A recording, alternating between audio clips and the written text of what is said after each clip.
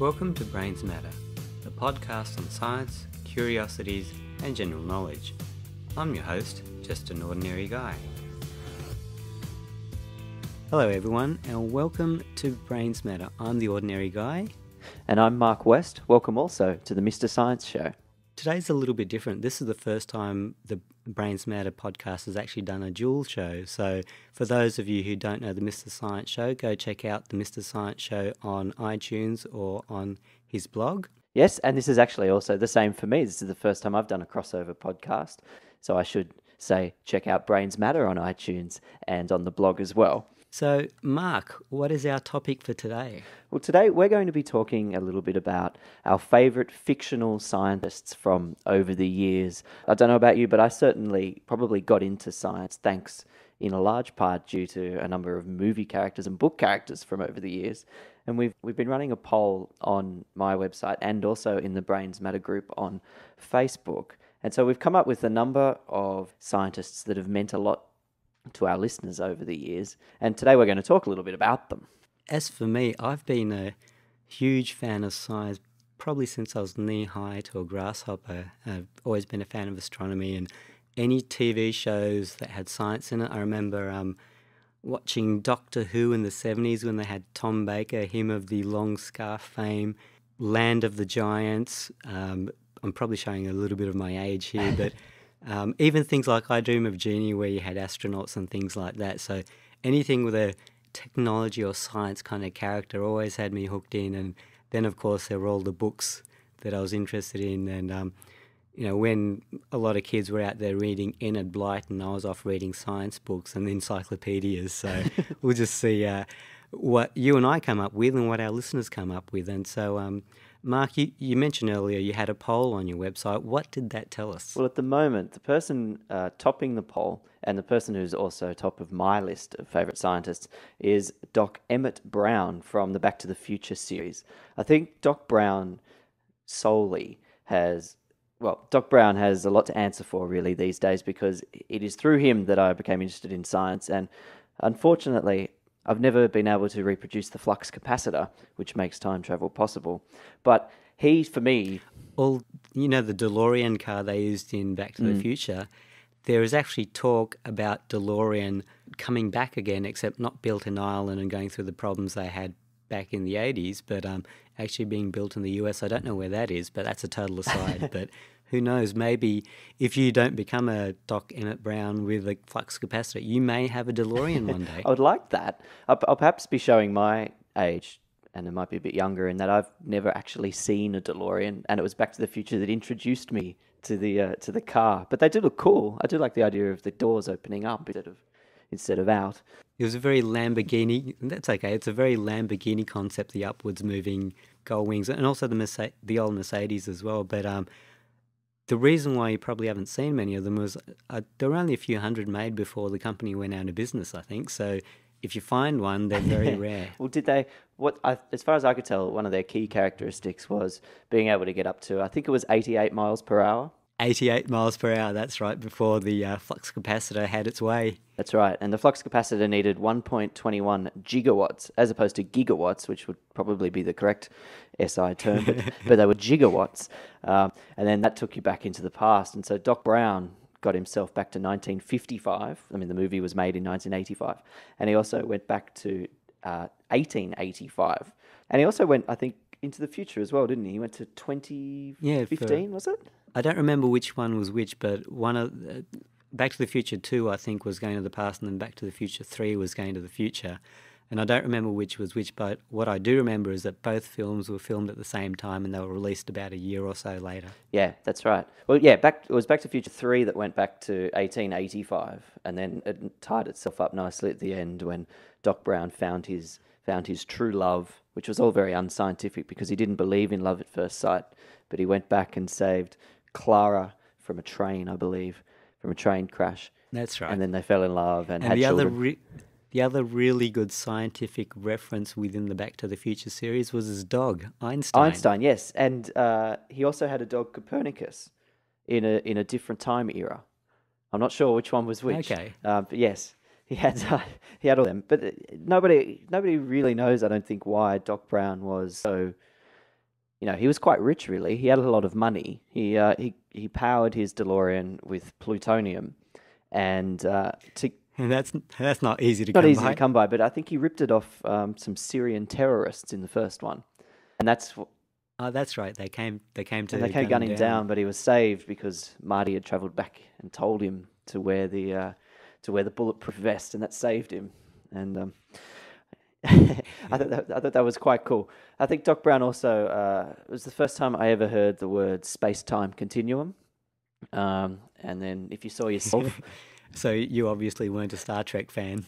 no, I wasn't so much into Star Trek. I, I think, but I've, uh, I've I've since heard it, and it's a real thing. Um, so Doc Brown got got him to thank for that. Um, although the idea of if if you see yourself, you die, that uh, or you see yourself in the future, the whole universe explodes. I think or something. I'm Not so sure about that one, but you never know. No one's ever done time travel, so perhaps all of these theories, maybe the Back to the Future theory, is uh, is true.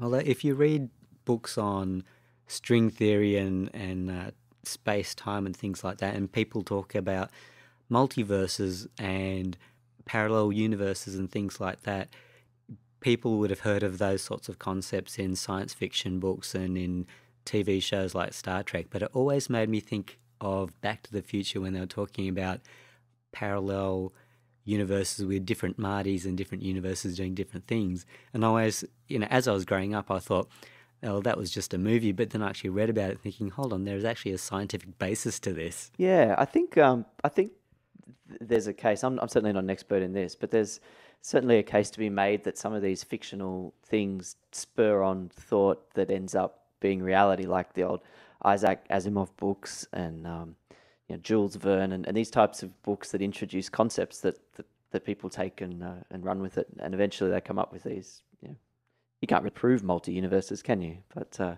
well, I don't know if you can. no, we can't yet. no, we can't yet. I was going to say, well, theoretically, um, on paper, time travel is possible, but the amount of energy that would be needed to do that is just, you know, enormous. Yeah. there's another there's another um, character I didn't actually I didn't put him on the poll unfortunately, but it's not so much time travel that he does, but he does traveling through dimensions, and these are the, the characters from Sliders.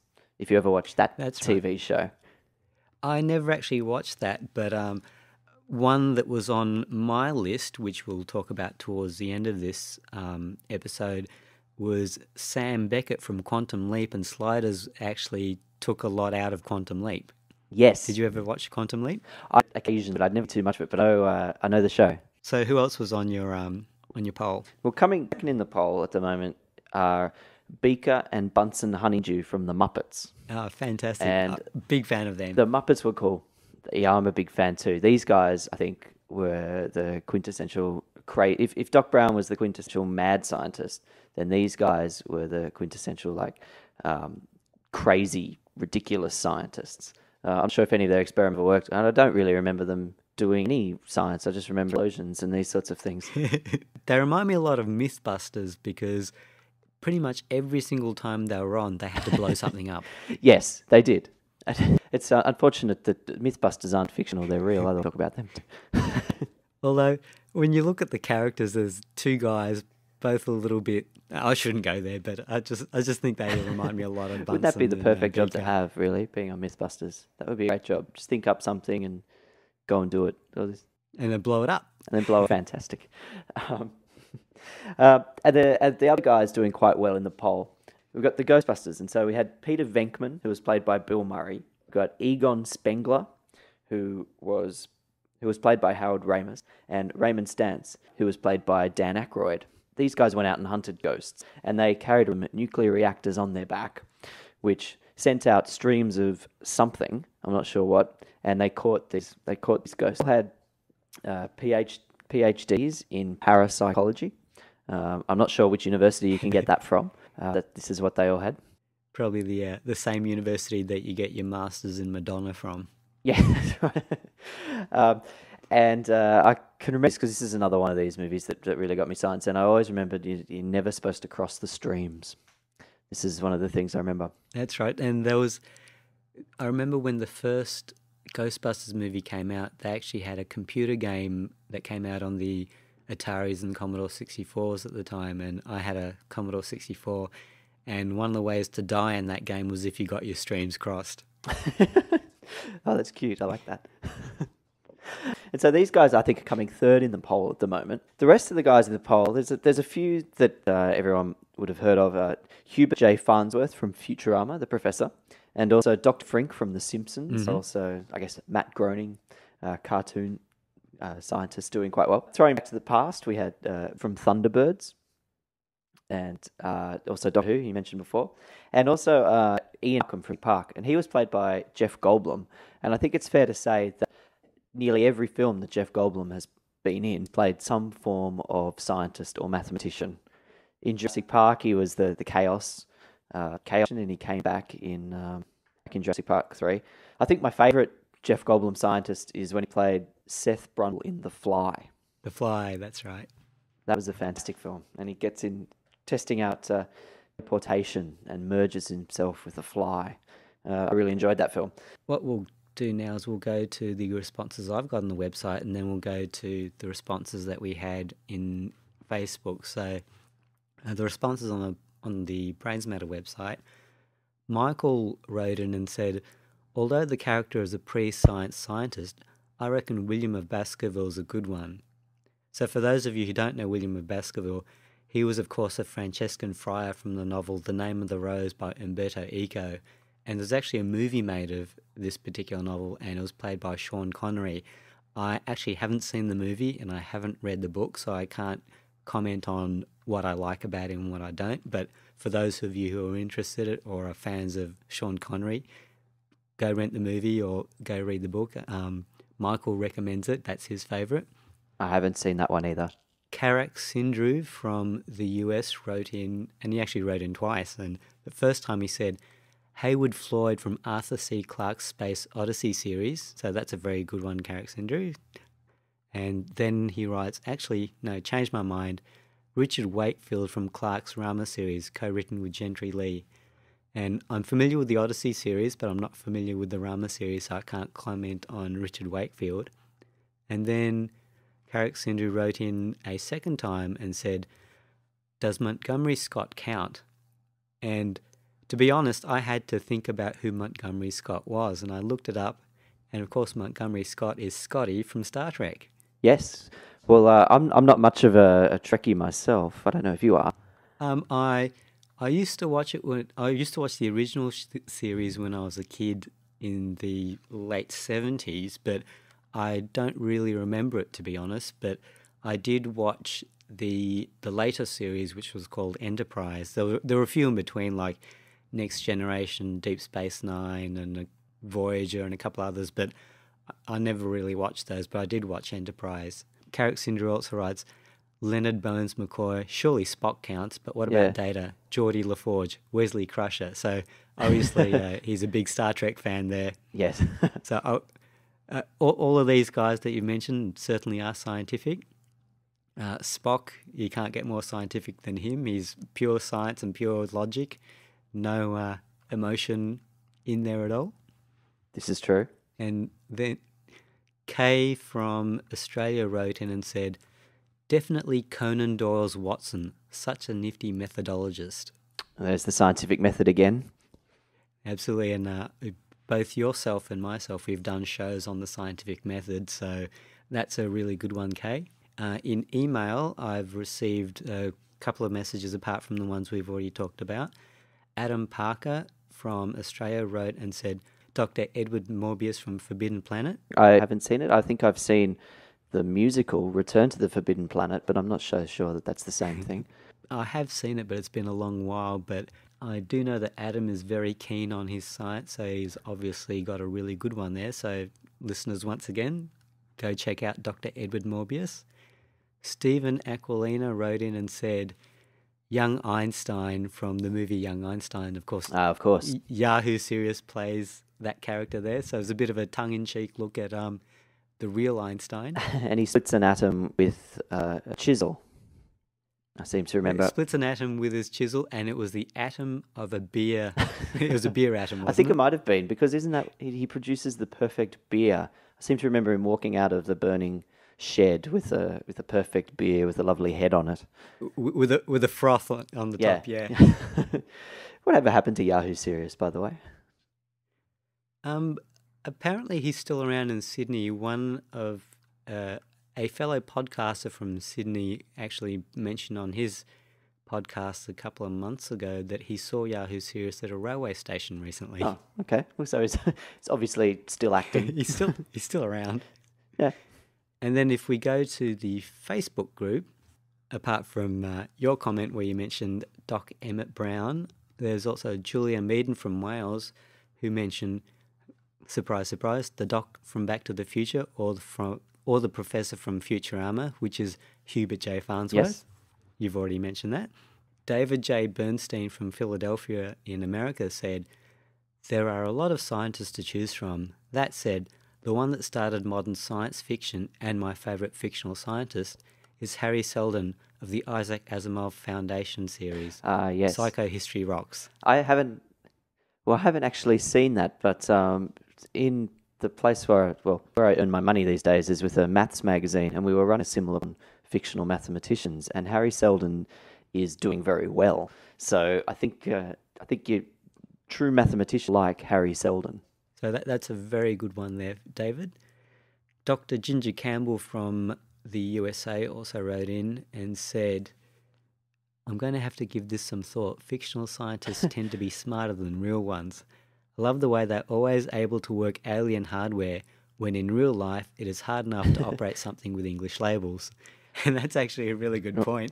Um, being someone with a bit of a, a scientific geeky bent to them, I'm the kind of guy who walks into movies and when something happens, I think that can't happen or that's not real or there is no sound in space. You can't have an explosion with a sound and things like that.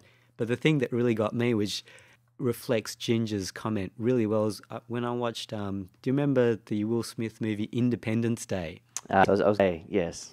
Yeah, and they were cracking into the alien computer, and they had English language stuff. And I was I was watching that movie, and I thought, that's interesting. Aliens use TCP/IP, and they have Macintoshes.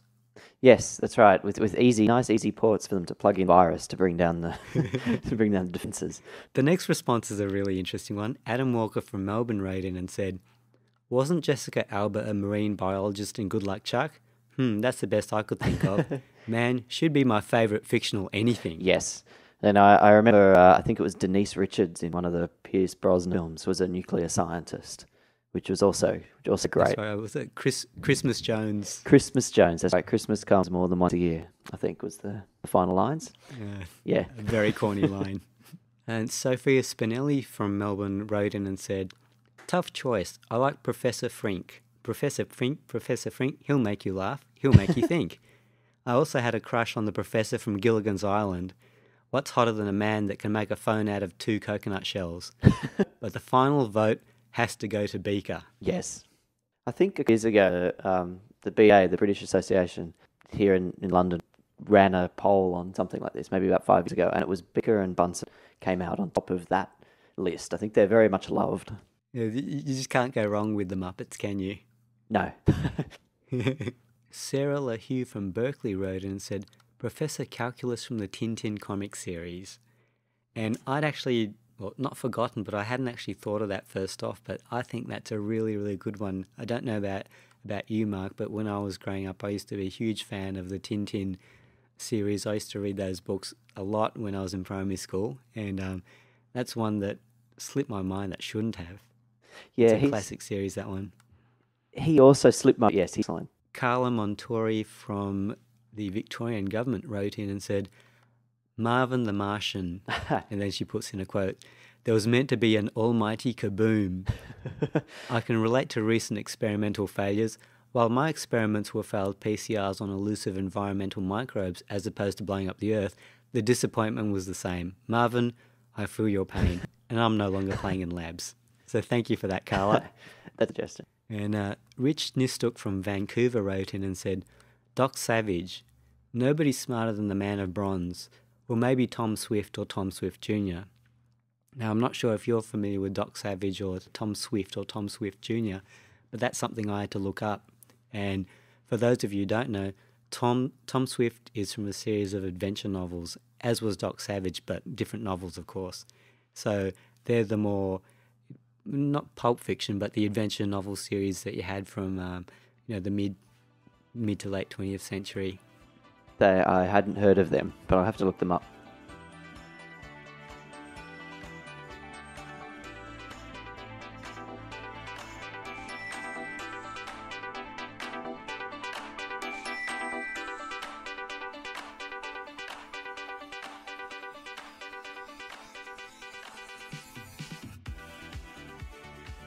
Some more from Facebook, and I hope I'm pronouncing this correctly, but Ni Ni Duong from the US, I think it was. She wrote in and said, "Hi, I nominate Dr. Briefs from the animated TV show Dragon Ball Z.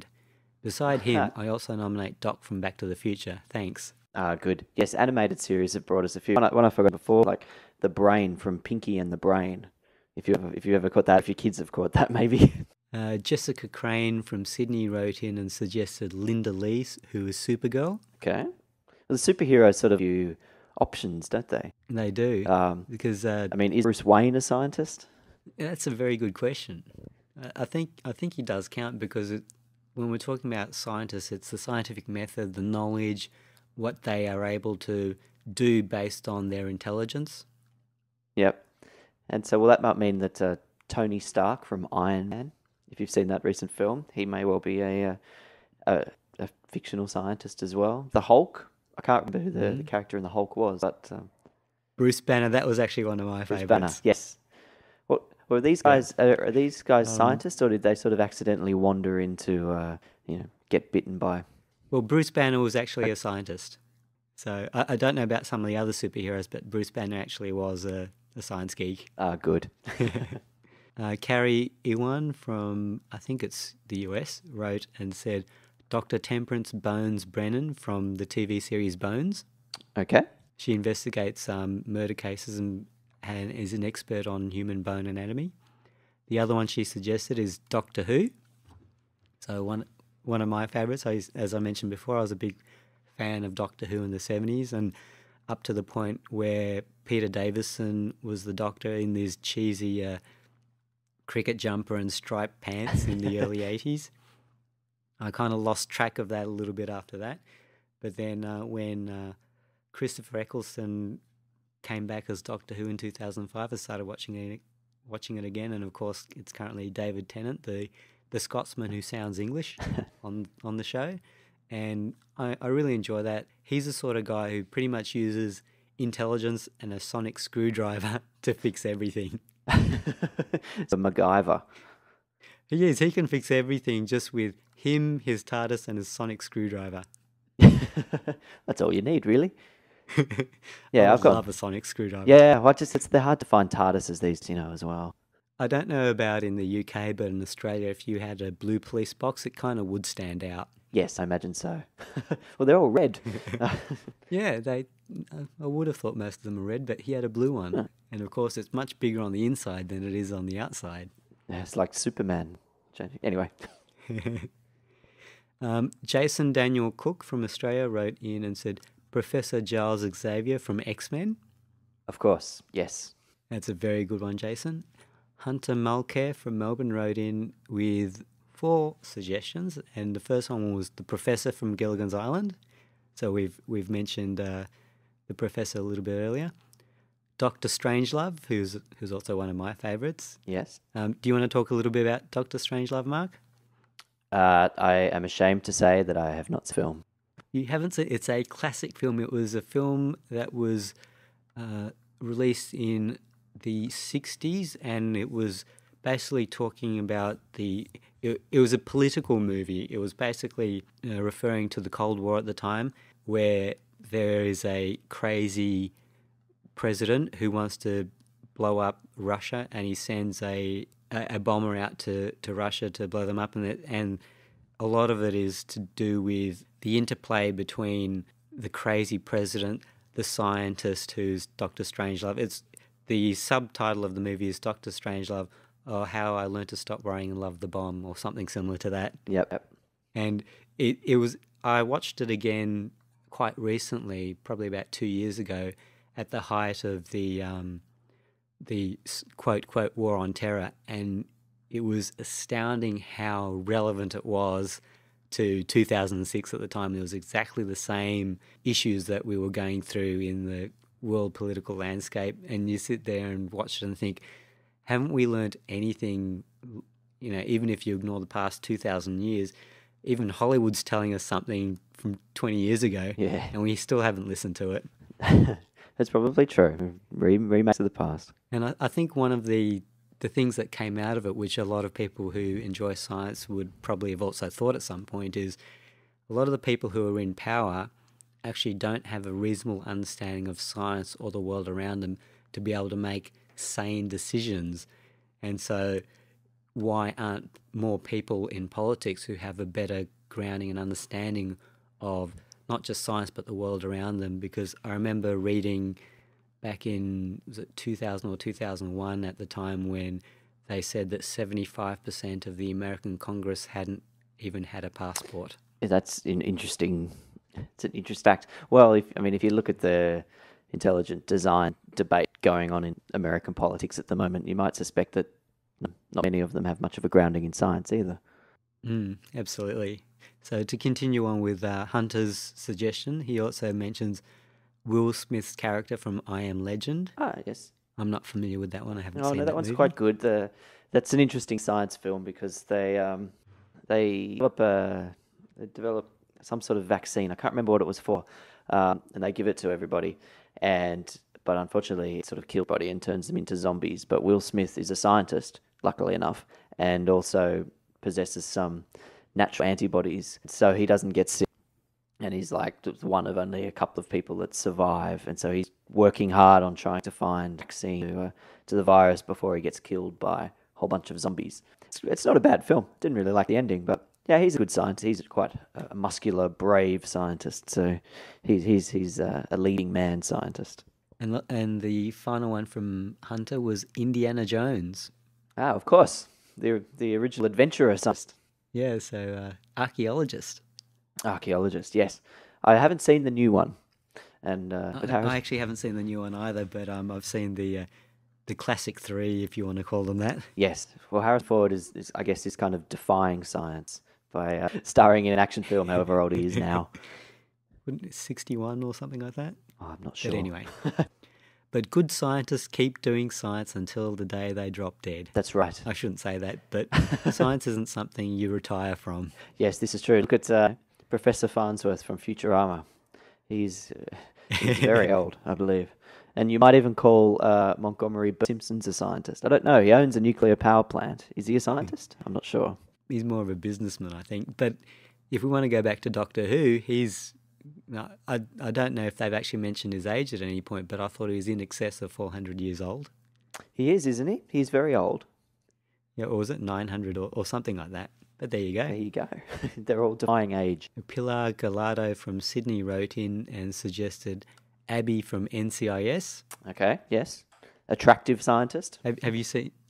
Yes, have you seen it? You've obviously seen NCIS. I have seen NCIS. There's a whole bunch of shows on telly at the moment which have scientists in it. There's NCIS and there's there's Numbers as well with Chaps, who's the mathematician that goes around solving crimes for the FBI.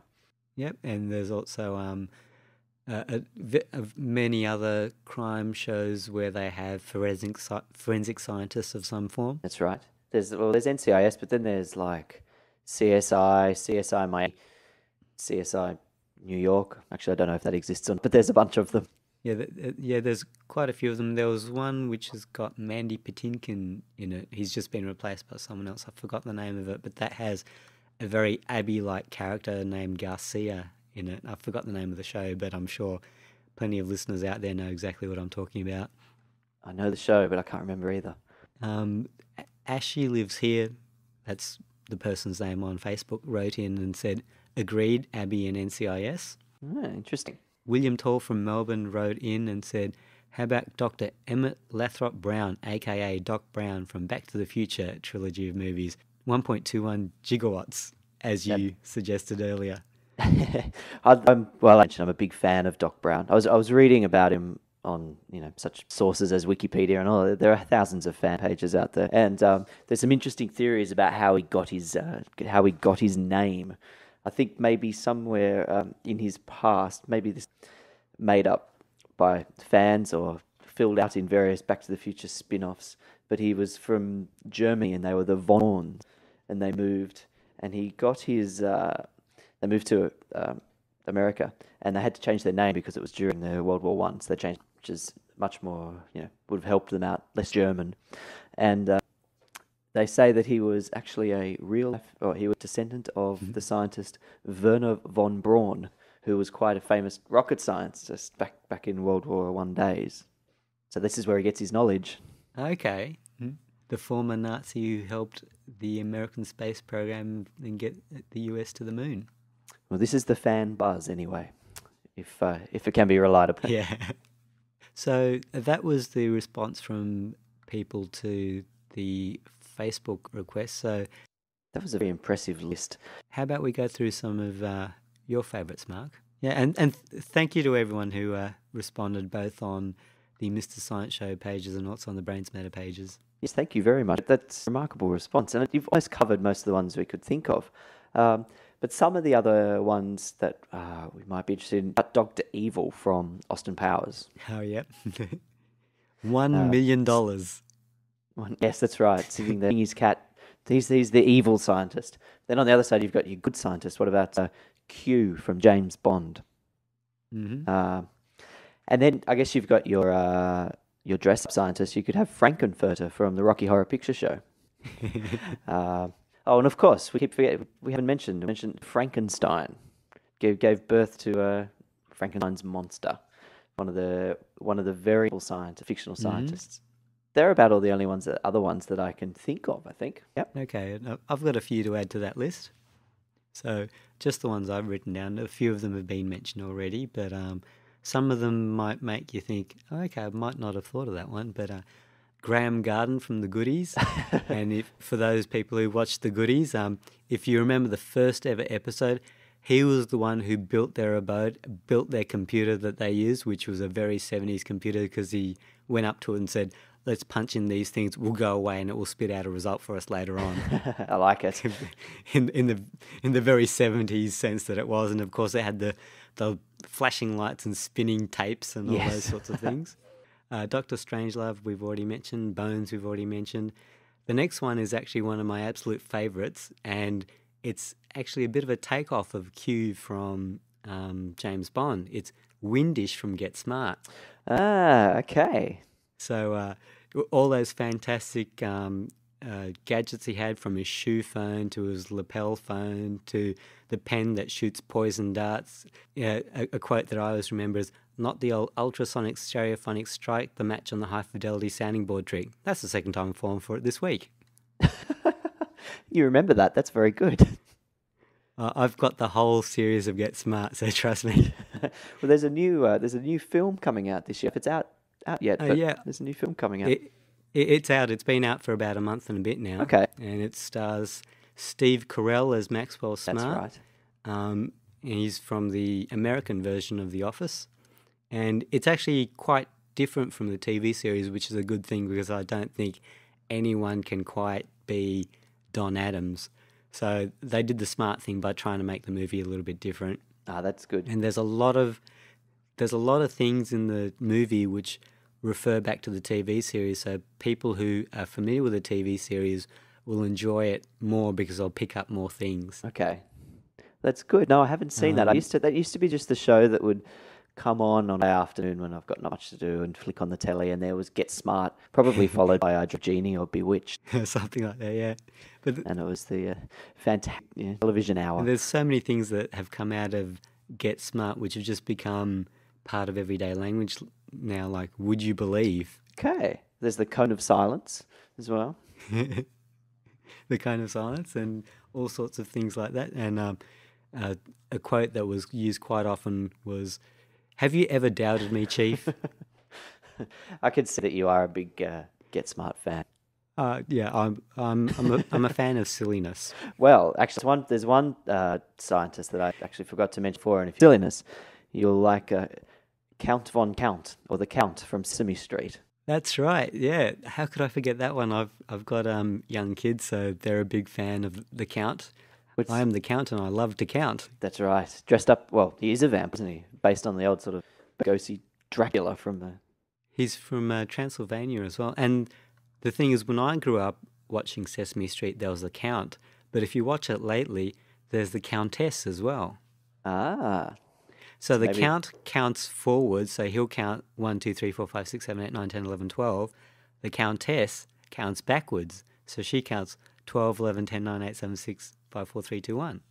I like it. I've got to get back into Sesame Street. well, I've got an excuse, I've got kids. Yeah, that's right. yeah, if I get caught watching it, that's probably yeah. um, I had Be- Beaker and Bunsen from the Muppets, which we've talked about. The next one's an interesting one. It's a little bit gruesome, and not everyone would be familiar with it. But if you've ever watched the the television series Dexter, Ah, yes. I've actually not, uh, nominated Dexter, who's a blood splatter expert. Oh. And it is a little bit gruesome um, because Dexter is not only a, a forensic scientist and specializing in, in blood, but he's also a serial killer on the side. That's a very good option. I, well, I have seen parts of the, the series, but I've read the book, um, which I incidentally think is a bit better. But everybody reads the book generally. Uh, but yes, that's a very good suggestion. Next one I've got is Baltar from Battlestar Galactica. Uh huh. I'm not uh, too much. And so, for those people who watch uh, Battlestar Galactica or the the latest version of Battlestar Galactica, as opposed to the 1979 one, Baltar is a character who has a science background. He initially comes on board, and his his uh, mission is to try and find a scientific method to, for determining the difference between Cylons and humans Interesting. then there's a whole big storyline that goes along with that and about whether he is a good character or an evil character or whether he's being manipulated. But that's for people to watch the show and find out about. I know there's a lot of buzz about. Well, I, I know there's a lot of bu- buzz about Battlestar Galactica, and probably you know hosting a science podcast, I should watch it. But I have to admit, I've never seen it. Um, I've got Doctor Who, which we've mentioned before. Yep. Another one, Doctor Jekyll. Of course, yes. Very good idea. So Doctor Jekyll of uh, Jekyll and Hyde fame. Um, I actually read the book from when I was a lot younger, but there was a recent uh, BBC TV series um, called Jekyll as well, which was uh, quite enjoyable. I've, I have. I actually don't think I've seen that, but I have seen a musical starring Anthony Warlow. So there you go. Um, next one I've got is uh, there's two from the same TV series, and I'm, the TV series I'm talking about here is Smallville, which is a sort of takeoff of Superman.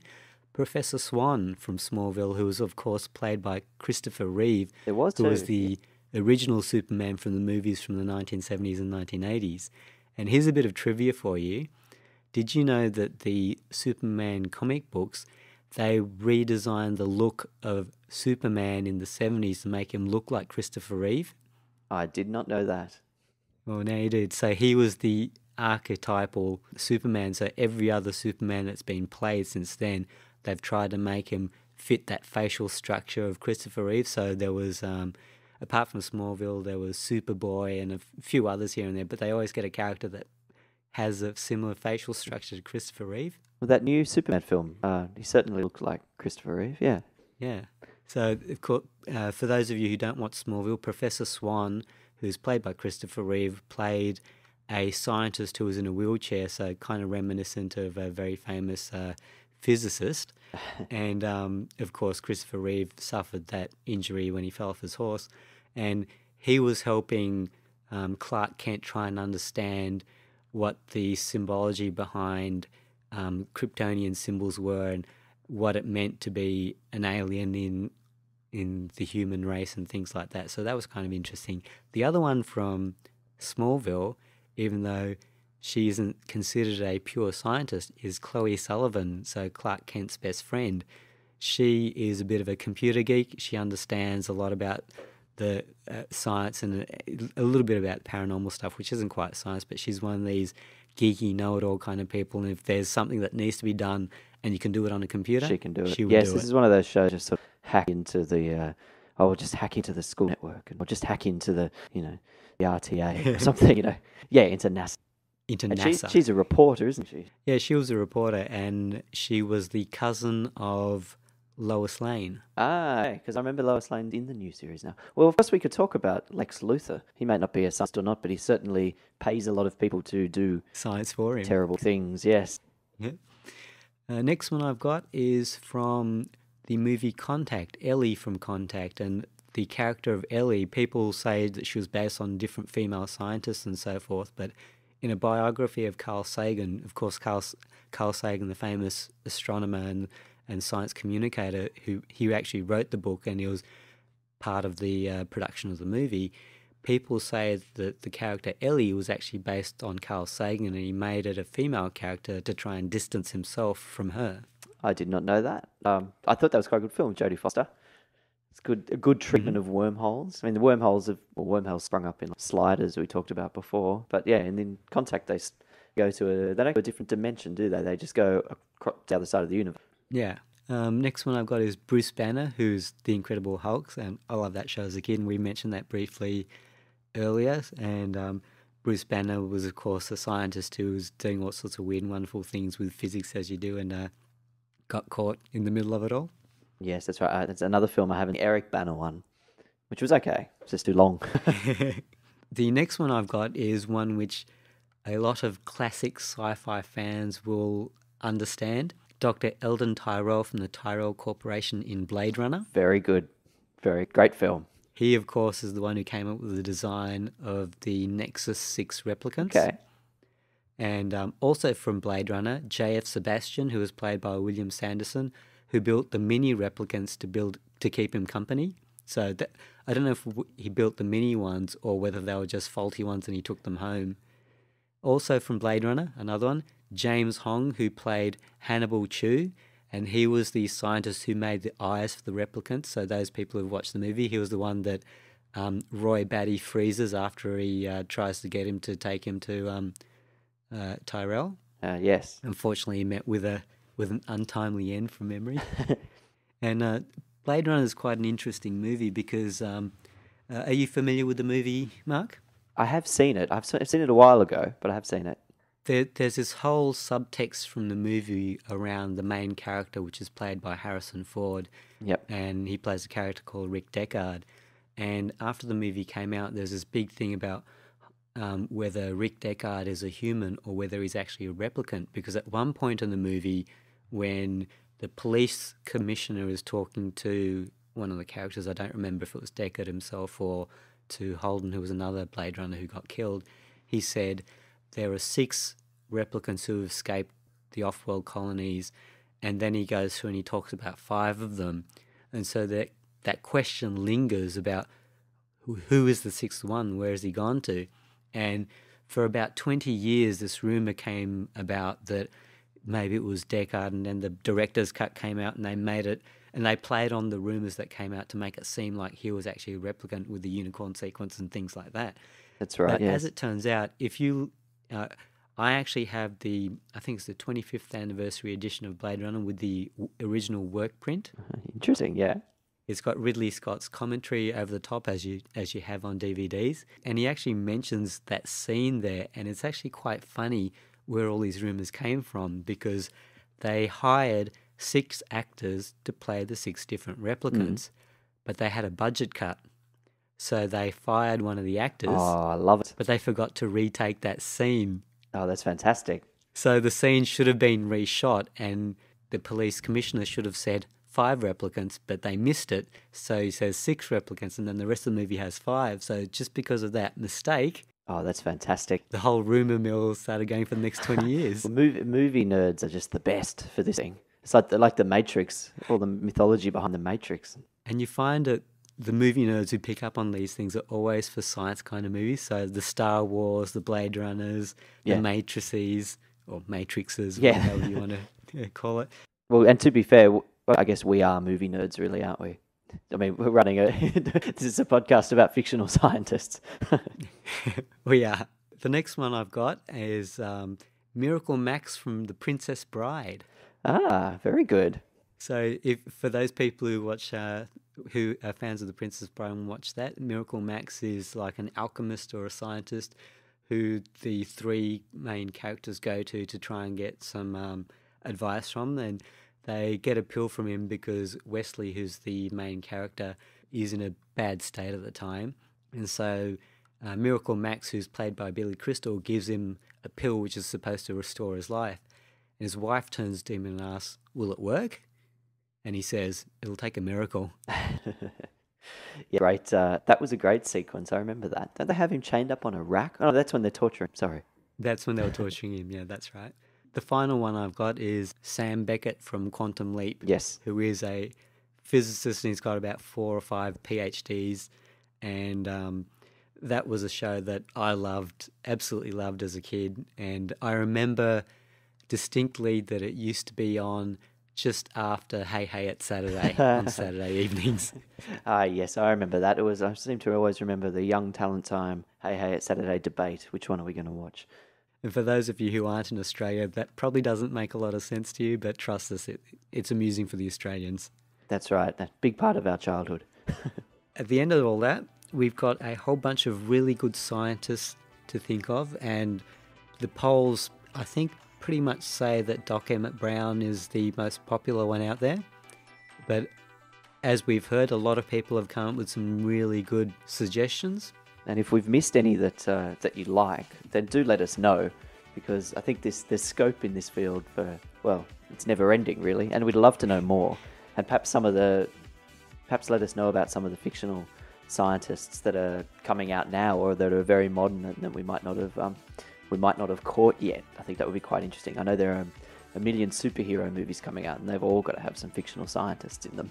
Uh, the thing that I think is uh, interesting that we've done om- almost um, intentionally is that we've chosen people who have had positive aspects to them in terms of their characters because you always have the mad evil scientists. So take, for example, a James Bond evil scientists who want to take over the world sort of thing. And there's they're a dime a dozen, but what we're after is the, the scientists that you can admire and aspire to be like. And uh, Doc Emmett Brown is someone who's inspired Marc, for example. Uh, when I was younger, I was probably inspired a little bit by characters from the Asimov books and things like that. So those were always things that can inspire and be positive in people's lives. Uh, this is very true. The, the the thing is, these days though, a lot of the scientists do turn out to be mad. If you do look at Doc Brown, he's a little bit socially strange, isn't he? He's only got, I think, two friends, and they're both about forty years younger than him. Um, but but there is a difference between mad and and evil. This is true. This is very true. Well, uh, thank you everyone for your uh, input into today's show, and thank you, Marc, for being on Brains Matter. And and thank you, Mr. Ordinary Guy, for being on the Mr. Science Show. Yeah, you're most welcome, and I'm sure we'll do this again at some point. And I hope everyone out there has listen- enjoyed listening to all the suggestions that we've had and that you've had. And yes, thank you very much for joining us. And any more suggestions? No. All right, and it's uh, bye for now from me. And it's bye from me too.